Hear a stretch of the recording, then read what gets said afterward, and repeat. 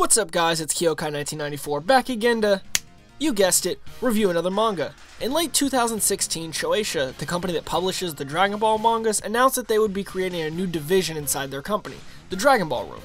This room's job is solely devoted to create content having to do with the Dragon Ball universe, and that is what they have done. This video I will be reviewing the first chapter of a for now three chapter run Dragon Ball side story and tell you my thoughts on it. Most of the time when anybody in the community thinks of the name Yamcha, visions such as this flash.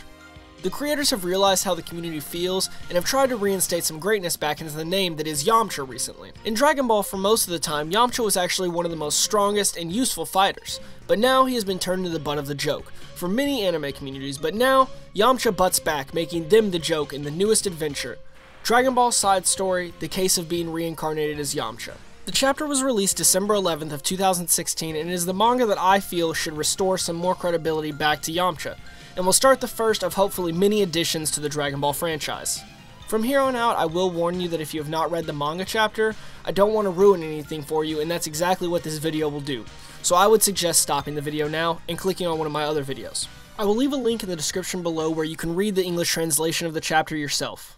We open this story with two boys walking down the street talking about a Dragon Ball attraction that a group of them are interested in going to. One boy, who happened to be the winner of the Dokkan event the day prior, wants his friend to invite some girls to come along to the attraction as well. They then ponder of the dream of finding a girl that loves Dragon Ball just as them. After thinking about the Dokkan event, our main character just happens to mention how useful Yamcha was for his team last night. They see a girl walking below with a short skirt, and like a young Master Roshi, our lead runs after her, takes one wrong step, and she is the reason for his death just like his friend said she would be. We get to the next panel where we see Yamcha for the first arc of the Dragon Ball manga. The lead takes a look at his handy dandy mirror and realizes he has died and come back as Yamcha.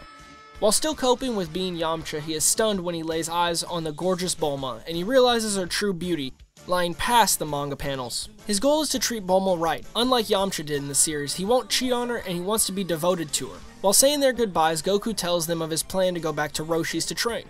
The reborn Yamcha realizes this is the whole turning point to the story, and decides to tell Bulma to wait for him, that he'll come back for her, but he has to go train with Goku, and train he did. A huge time skip has taken place, and now we're in the Z portion of the series during the Saiyan arc. Reborn Yamcha is just about to start the life-threatening fight with Vegeta and Nappa and some of the Saibamen. The Reborn Yamcha announces that he will take on all six Saibamen at once and is called Kaki by Vegeta. The first Saibaman attacks and Yamcha clean punches the head off of its shoulders. The other five are then ordered to charge, and we start to see a scene that's very similar to Yamcha's death in the series. The dust then clears from the explosion, and we see Yamcha standing there, with not a single scratch on it. Everyone cheers while Piccolo ponders how did he get this strength? And this is the question that we're left with at the conclusion of this chapter. I really enjoyed this release by Dragon Garow Lee and hope he's the one of the ones who continues writing the Dragon Ball side stories after his first run concludes. With the main character's full knowledge of the series, he creates several good gags and spoilers to the live Dragon Ball world his character now resides in. Like when he tells everyone that Goku is a Saiyan, or when he mentions of the Tenkaichi Budokai when they're saying bye to Goku. I find it very interesting to see a very self-aware character having to act normal while being a whole new person and figuring that concept out. Like when he falls on the ground with everyone else because that's what people in that universe do when they're laughing at Goku responding about his loss of a tail. With his character being blessed with the great knowledge of the universe, typical already seen situations can be altered and an interesting new story can be created from those. I really enjoyed the story and I'm excited to review the second chapter coming soon. I can't wait to own a physical copy of this and an actual English translation, but sadly, there's not one out yet, so I had to read it off of a link that I will leave in the description below.